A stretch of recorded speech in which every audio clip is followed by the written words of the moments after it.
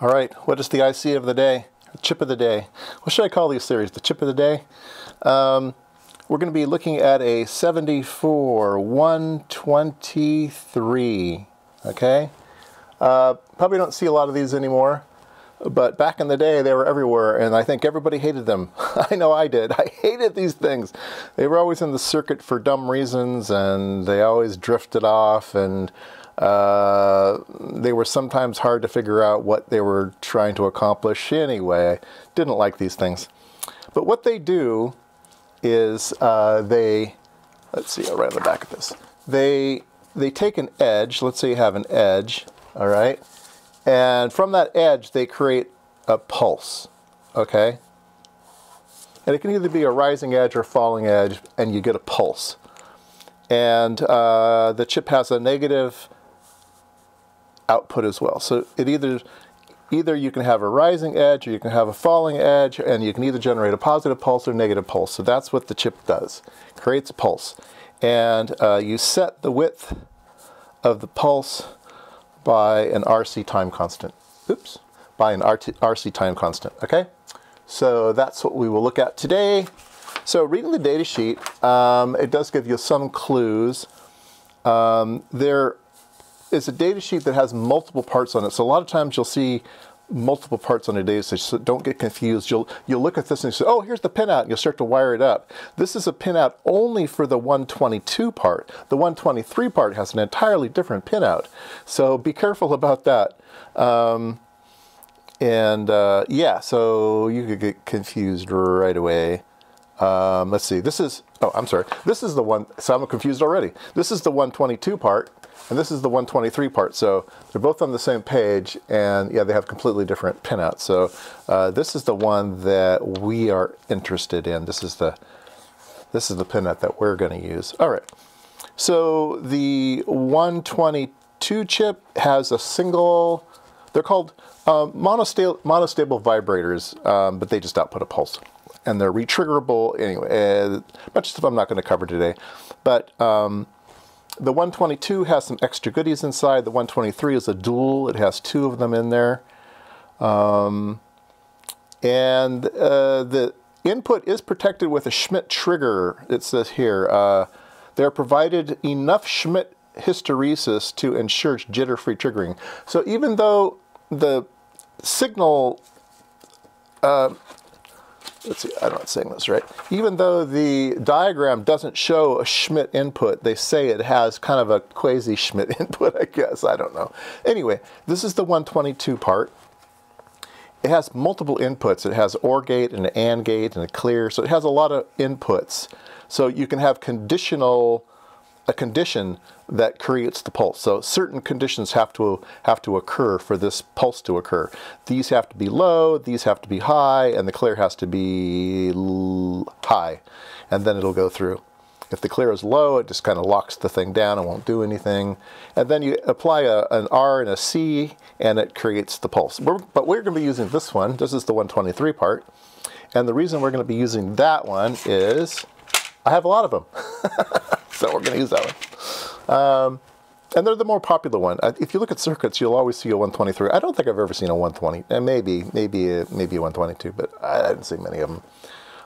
So this one only has a condition of two, either uh, A, so it's an AND gate, so A has to be low and B has to be high, and then this thing will fire. C has to be high, and then there's a, a, a RC on the output for the set the uh, set the pulse width. So how do you set the pulse width? Uh, well, you look at the little diagram here. They give you an equation. They give you an equation, but I don't look at equations. I always look at the little pictures. I like picture books.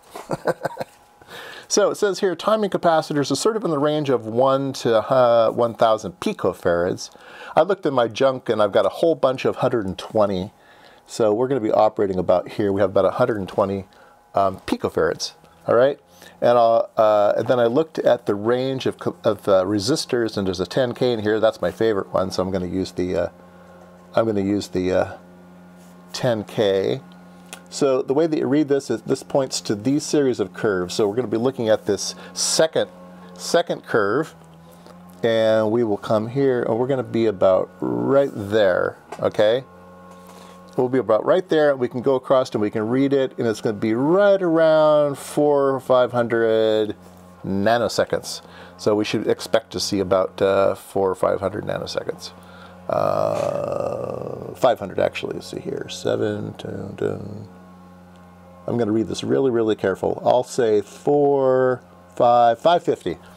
I claim 550 nanoseconds from, from this diagram, okay?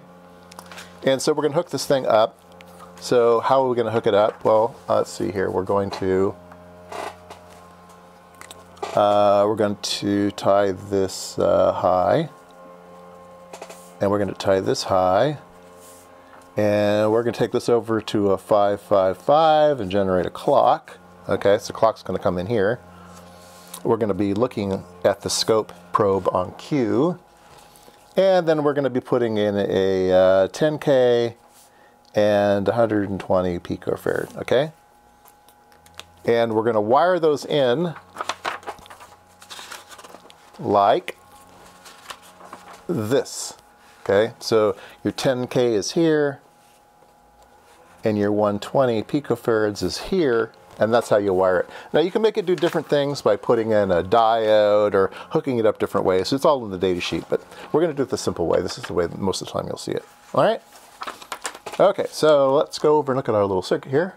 So here's our 555 and here's our 123. And let's go up to the scope and see what we can see. Okay, so the uh, yellow trace is the uh, 555 and the blue trace is the pulse. And I think you can just see there's a pulse there and there's a pulse there. So it's set up to fire on negative edges, okay? So if I zoom in, this negative edge, you can start to see the pulse. There it is. So it's generating, it's generating that pulse when a negative edge happens, okay? And um, let's see here. There's 500 nanoseconds per division. So 500s, and this is uh, 1000. So it's about 700 nanoseconds. About 700 nanoseconds wide. So we were pretty close. Of course, our values, our, our capacitor is probably going to be off a bit. Our resistor might be off a bit and stuff. But anyway, there you go. And they weren't all that accurate, like I say. A lot of times they would drift off with temperature or just with age and stuff and uh, they could move around and then your circuit didn't work any longer. If you if you were counting on that being exactly 500 nanoseconds, you know, it, and it was a you know if if it was a little bit short or a little bit long, it could mess up all of your logic, and yeah, it was a bad deal. so anyway, there you go. Um, let's say that we wanted to uh, develop that edge on the rising on the rising edge, uh, well, we could do that easily. We could um, move the input to pin 2 and we can ground pin 1 and now we've inverted the incoming logic. And come back here. And now the little pulses are happening on the positive edge so now I need to uh, trigger on positive edges. There we go. And I can zoom in on that. So now we have a positive edge coming in and we get a, uh, oops, we get a 700, 700 nanosecond pulse coming out. So anyway, there you go, chip of the day. Um, nobody does this anymore. Everybody's just going to use microprocessors these days. But you might see this in uh, something you're repairing, so that will be valuable.